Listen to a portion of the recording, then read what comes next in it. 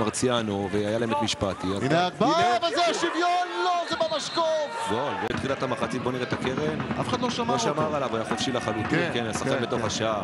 הכדור הזה עובר את קו השער. זה גול באשדוד. הוא נכנס לתוך השער, היה צריך להישאר על קו השער, יכול להיות שהיה מציל את הכדור.